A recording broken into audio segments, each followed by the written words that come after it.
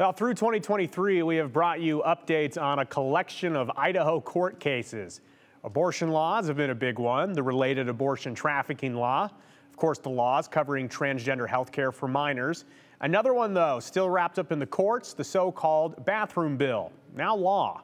And that law mandates that Idaho public schools be required to maintain bathrooms and changing rooms on the basis of biological sex, and that is the sex of a person that they were assigned at birth. If they don't follow this, Idaho schools face possible civil fines.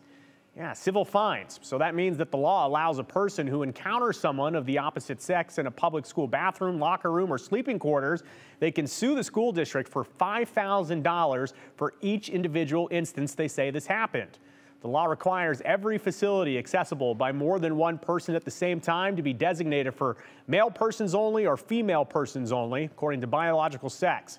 And as it stands, the law is waiting for the Ninth Circuit Court of Appeals to make a final ruling. And back in October, the Ninth Circuit reversed a lower court decision here in Idaho. They decided that the law should remain paused or blocked while courts are making their final rulings. But this week, we are seeing arguments that are being submitted to the Ninth Circuit Court from Idaho Attorney General Raul Labrador, along with some partner attorneys that are party to the case.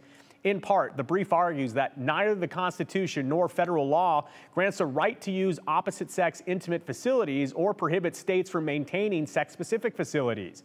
Labrador and his team also argues that overall, the plaintiffs' legal theories lack merit on Title IX arguments, privacy claims, and equal protections. Courts will weigh the brief coming up in a few weeks, but Idaho's bathroom, the bill, the bathroom law, I should say, it does remain paused at this point in time.